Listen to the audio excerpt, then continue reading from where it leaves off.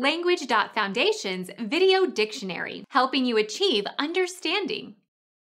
A loan that establishes consumer credit that is granted for personal use, usually unsecured and based on the borrower's integrity and ability to pay. Consumer loan Become our student and get access to effective and free educational materials. Subscribe to our channel to become a part of our growing community and to learn English effectively.